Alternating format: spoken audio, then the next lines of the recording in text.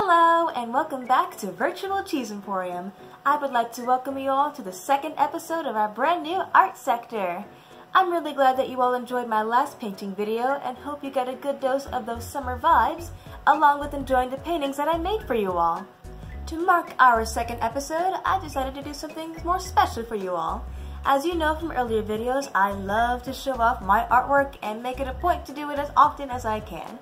But obviously you have not seen the full effect of my artwork. So because of quarantine, I decided to gather up all of my artwork and rank it for you all. Now, my ranking is going to be on my personal preference since it is my art after all, and not professional skill. So don't get too hasty with all that criticism, okay?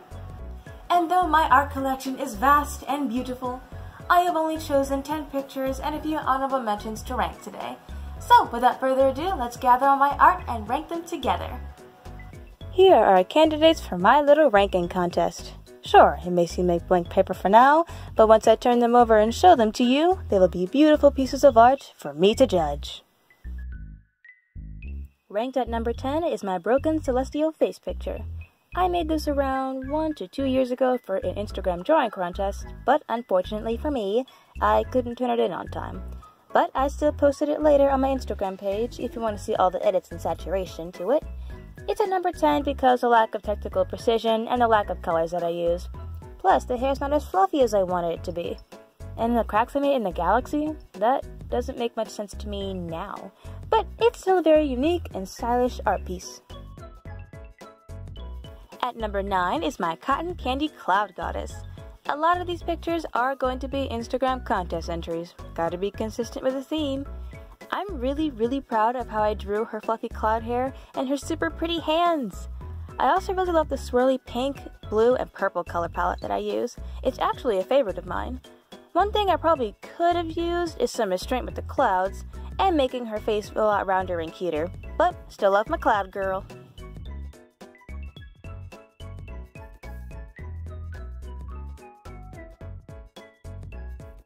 Number 8 is my green-eyed catboy and his adorable little kittens.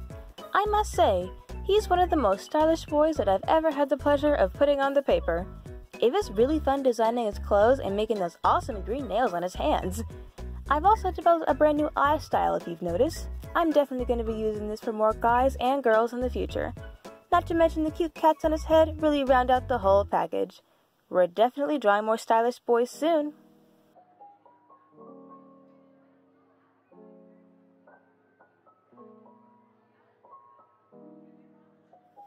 In seventh is the world renowned angel dust from Hazbin Hotel. I finally decided to try out some fan art along with multiple arms and a much more dynamic pose. If I knew how to cosplay, and I probably will soon, I would definitely wear that dress, or is it a really long shirt, along with those boots, hair, makeup, everything else. I love you, Angel Dust. You're absolutely perfect. And guys, come back for more fan art if you want to see some more.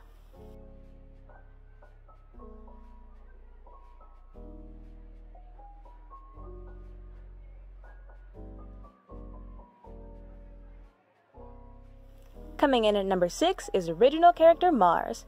Now this may sound a bit cringy, but I thought it would be cool to join a K-pop group in the future. But a language barrier and lack of training quashed that dream pretty quickly. So I decided to draw my own K-pop group instead with a really cool space concept. I knew I wanted Mars to have a really nice alien-like design with his clothes and whole aesthetic, and this is what I came up with. And yes, believe it or not, Mars is a full-fledged dude. He just has amazing style and flair. So here he is at number 6.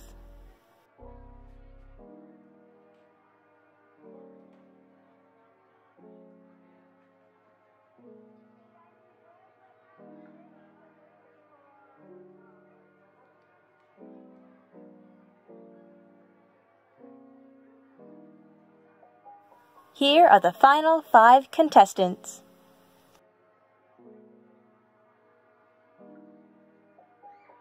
Now at number five is Jupiter. No, no, not the planet, silly. The second member of my original K-pop group. He's a sweet vampire boy with a super sweet pastel aesthetic. Hence the pink hair, the jewelry, and lots and lots of flowers in his hair. But honestly, I just want to cup his little cute face in my hands. He's just so roly poly and cute, and I love him so much. I'm gonna draw him in so many cute clothes in the future. It's gonna be great.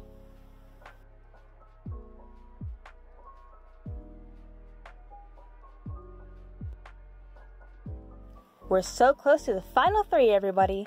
At fourth place is my handsome St. Valentine's Day Cupid. This is an original artwork that I made especially for Valentine's Day. I haven't drawn guys for quite a while, so this was a special treat for myself and all of my Instagram followers. My favorite things about him are his beautiful face, obviously, along with the big swirls on his chest and arms. I have no idea how I just suddenly drew this beautiful man, but I'm so glad that I did. Happy Valentine's Day!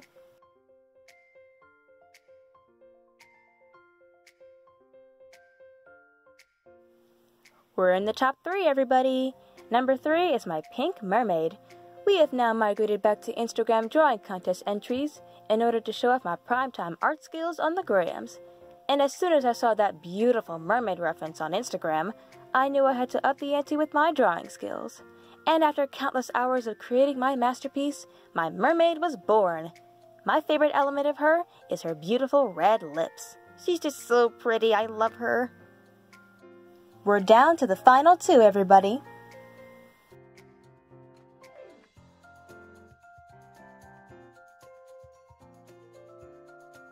This was a tough decision to make, but in second place is Phoebe.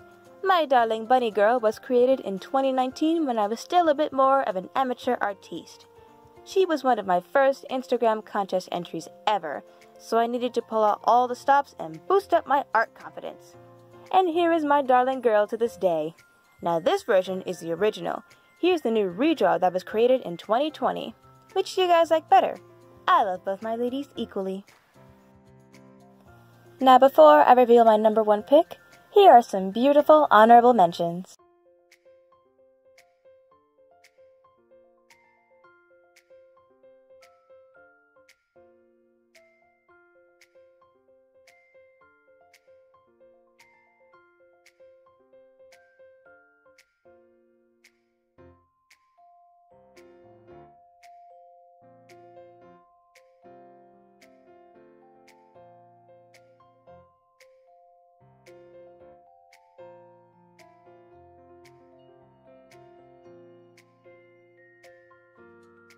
And now, the moment you've all been waiting for. My number one pick is.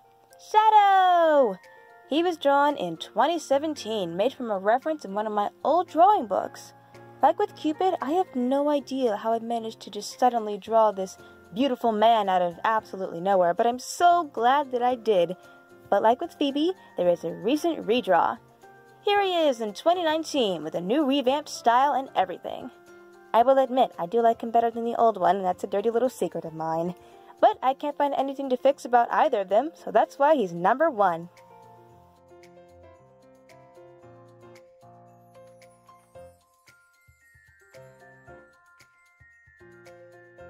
I hope you guys had fun participating in my art contest. Let me know if you want more things like this soon. Bye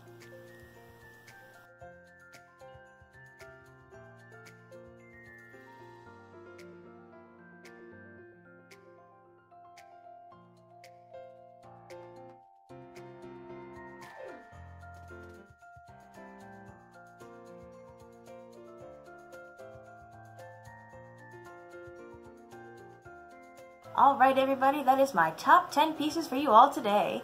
If you decided to stick around for the entire video, you would have noticed that my art style has changed a lot over the past five years. Yeah, five, yeah, like around five years.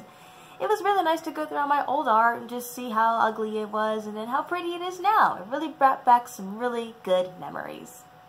If you guys like this video, please make sure to give it a like and I will definitely be making more art stuffs to fill up the art sector. It may take a little bit, but I will eventually be able to figure out how to film an art tutorial, and I may even dabble in a few art challenges here and there. Well everybody, it is time to close the art sector for now, and time for me to film some more primetime content for you all. Please come back in a few days because we're all going to be celebrating a very special occasion very soon. Well, it's time for me to edit this video and draw some more excellent art for you all to witness in the future. So I'd like to thank you all for coming back to Virtual Cheese Emporium, and I hope to see you all again very, very soon. Have an awesome day and stay safe. Bye-bye.